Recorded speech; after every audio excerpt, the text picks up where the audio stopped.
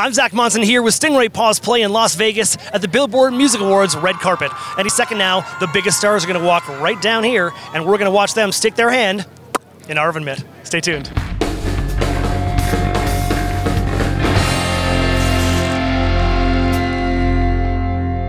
I would love to pick a question from your oven mitt.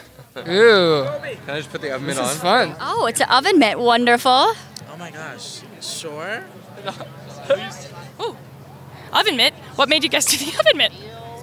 Don't ask. What are you really bad at? Hmm. Oh my god. I'm really bad at Dressing myself. I totally disagree. Although, you dressed me. okay, okay. Well, you did a really good job. Yeah. picking up my laundry.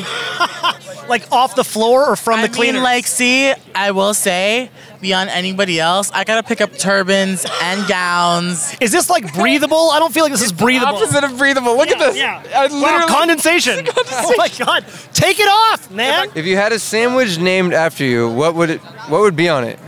Okay.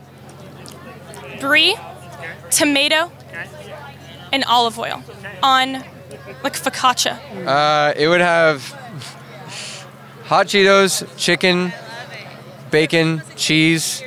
Uh, Maybe something to cut through the richness of that sandwich might be good. Like some. no sauce. I don't like sauce. Hilarious, dude.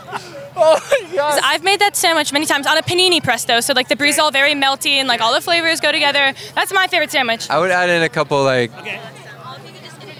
uh, cheesy gordita crunches, Gordita crunches Another and the hot sandwich inside the sandwich. and then uh, some mozzarella sticks. What is the worst purchase you ever made?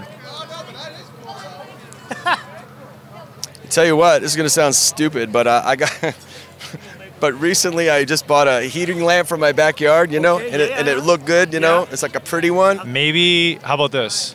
The worst purchase I've ever made is a plane ticket for someone who I never met before.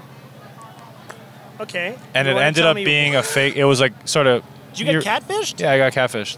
No. How's it working? But no heat, man. So I had to send it back, Okay. and I built the whole thing myself, and I sent it back. You based your so whole that was setup like, on that yeah. one. Of all the purchases I've ever made in my entire life, that's the worst. worst one right there. I feel like everything else I've purchased was like Yeah, been pretty been positive, Yeah. but I've got catfish once. Yeah. What night resulted in the worst hangover? Oh Lord, this is a good one for me. I get a lot of bad hangovers. Yeah, you do. I don't even hardly drink anymore. I get hangover so bad. Last month at the ACM Awards, we had a pretty good after party. That was a good time. Oh yeah, it was a great time. The next day, not so good. Not so good. Not so. It was very rough. I don't know specifically what the night was, but I do know back in the day when there was 12 dudes sharing a bus, many mornings I would wake up with a trash can beside my bunk and just know that we went a little too hard the night before. How do you cure a hangover?